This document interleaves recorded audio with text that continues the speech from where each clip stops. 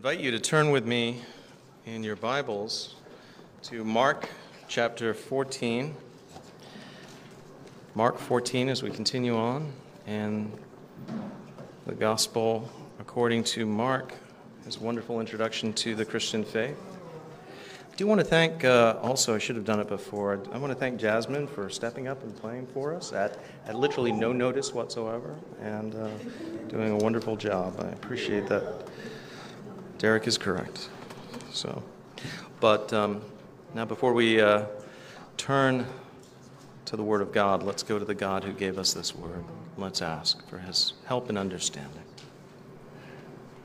Sovereign Lord, we are so thankful that you have given us your Word as a sure rule and guide for all of our life and our practice.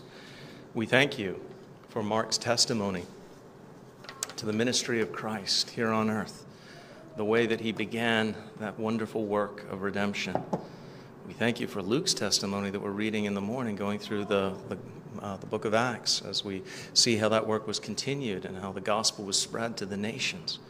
But now, Lord, as we come to a, a very somber part of the gospel, uh, the trial, this mockery, sham trial of Jesus Christ, I pray, Lord, that you would help us to tackle these, these questions. I pray, Lord, that you would help us to understand our own nature, Lord, as we see it displayed here.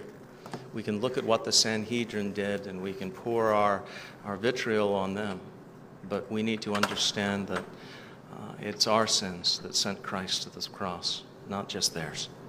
Lord, help us then to take these things seriously and to understand the great sacrifice that Christ was making for us. We pray all these things in Jesus' holy name. Amen. Mark chapter 14.